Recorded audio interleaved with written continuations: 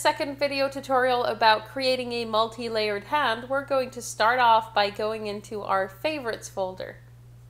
This is in the node library, so I'm going to go and get an overlay layer. So if we remember correctly, the two four fingers are at the overlay layer right here. So I've connected the overlay module to um, the, the first one. I'm getting another overlay for the second finger. Finger 3 and 4 are located in the underlay layer, so I need an underlay node that I'm going to bring in and connect under each of these, just like that.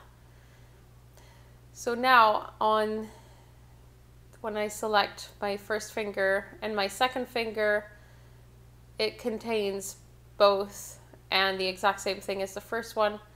And under finger three and four, they both contain the two uh, backmost fingers of my hand. What I want to do at this point is separate these two fingers so that they're, they don't animate together.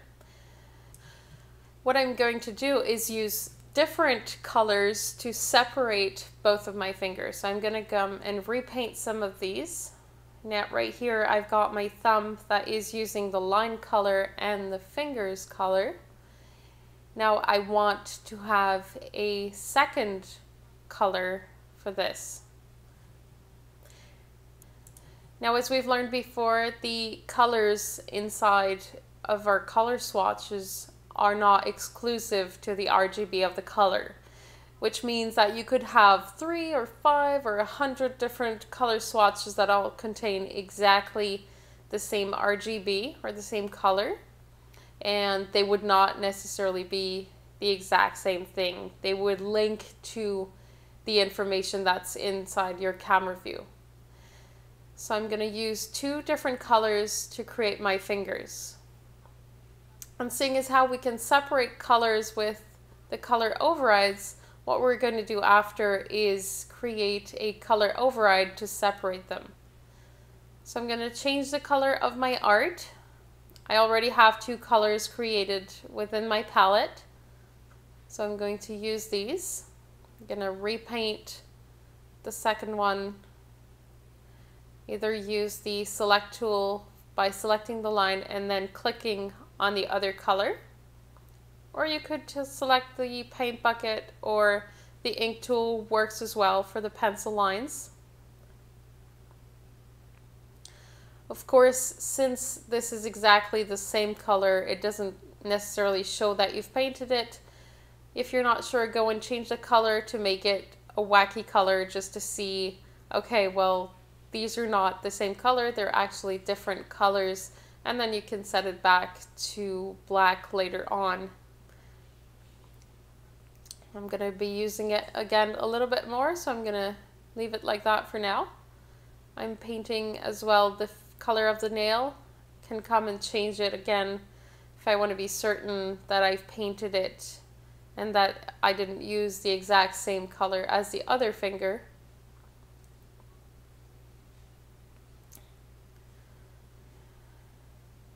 You can use a color picker to go back to your original color right there. So now these two fingers are their own different colors. So I'm going to go and get a color override that I will connect underneath using the third port. Right now it's reading everything as uh, per what is highlighted on my camera. So I'm going to go into my layer properties, go and select my palette, and under render selected colors only I'm going to select render selected colors. So right now it's no longer reading anything because I don't have any colors in there. I'm gonna go and get the line and the fingers color. Now as we can see our drawing is only showing the thumb because the other one is using different colors. I'm just gonna rename this a different name, just like that. And I'm going to create another color override bring one in, connect to third port, and on the layer properties, I'm going to use the other two colors that I have. So line finger 2. So what's happening here if I go and get my display, I'm going to show display 2. Here I have just the thumb showing and here I have just the other finger showing. Meaning that no matter how many hand positions I have inside of my uh, character, I could create a hundred different hands with fingers positioned differently. I could come and uh, move slightly the thumb or the uh, any fingers basically I can come and change slightly the uh, the position. And that's going to make it look a lot more natural. When you do little movements you can have subtle uh, little changes in the fingers and that adds a lot in your animation. Now I could have separated uh, every finger on a complete different layer but now the advantage of this is that when I select a different hand in my uh, drawing substitution library is that it will come and reposition everything automatically and I'll still have the possibility of creating uh, different positions by coming to move the fingers. Of course, you don't necessarily have to separate them for every possible drawing that you have. Like sometimes if you have a closed fist or something like that, you won't necessarily need to have all of your uh, fingers separated. So what you could do at this point, you always have the possibility of just creating all of your fingers on the overlay layer, for example. Now, if we're going to finish up our first hand right here, we also have two layers in the underlay. So I'm just going to move this one to the side for a sec. And I'm to come and paint this with the finger color, line color for our first finger. And I'm to come and paint the other one with line finger, finger 2. So line 2 and finger 2. And I can come and reposition this one in the back just like so. Now I have the color override that needs to be inserted in. So I'm going to come and bring in a new color override, or actually what I could do at this point, since this one is color override line color 2, I could come and copy these two, paste them, and reuse these to come and separate the different colors. So now in my finger three, I have only this one.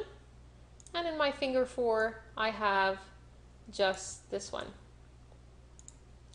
Now, of course, at this point, what I need to do is go and remove any uh, artwork of the fingers on my line art and color art because otherwise they'll be moving, but you'll still get a uh, ghost of the artwork under it. So I'm going to go and reposition that, tweak a little bit. Just like so. I'm going to come and paint and I'll just grab that and go over and paste it over to the color art layer. So I can come and move any drawing that I want uh, there is one last thing that we're going to need to do.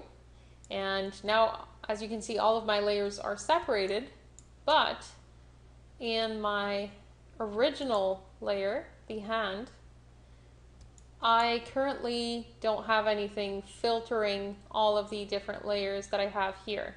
So if I move, for instance, the thumb, as you can see, I get a ghost image of everything I have here. If I deactivate all of these fingers, I can still see some of the artwork in the hand. So we don't necessarily want that. So we're going to bring in a uh, filter for the hand. So here what's going on over on this side, I have the overlay layer that was being used before. So I'm going to come and disconnect that and keep strictly the line art and color art so that even if I deactivate all of my fingers, I won't get to see uh, any of the remaining artwork on there. So at this point, once you have your system, you can feel free to go and create some more hand drawings. Uh, you could create or duplicate uh, your current drawing and go and reposition some of these fingers uh, to make some wacky uh, hand positions if you wanted to. I'm going to go here and reposition some of these.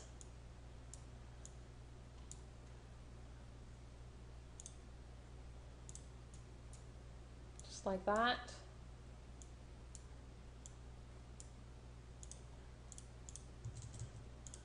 And if you wanted to bring in some fingers above the hand, what you could do is go and put a small Z value on top of it. You don't want to go and reorder them in the composite because that would change uh, a lot of your different hand positions. So you can just bring in a little Z value on top of that finger. If you wanted all of them to be on top, you would just do the same thing. And then just like that, you could um, come and adjust some of these positions uh, to bring some on top or behind. And if you need them to go back, you just simply uh, bring them with a small Z increment to the back. So that is how you would create a multi-layer hand. Um, create it for your front and back position and then after that you can go and separate the different positions that you get onto your front view as well. Um, don't forget that if you if you want to have a position that don't that you don't necessarily need to have all the fingers separated as well, what you could do is uh, really easily create a new position. So now I've just created a new drawing here.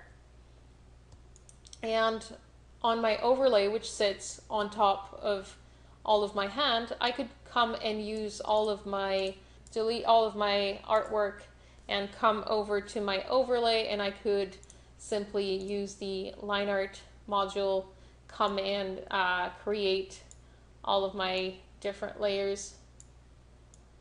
If I had something like a, a fist clenched just like that, I could definitely come and do this and this will show entirely on my uh, overlay layer. So just one layer that I can move around just a little bit, but I won't have to get all the fingers separated because it's not always useful for all of your uh, fingers.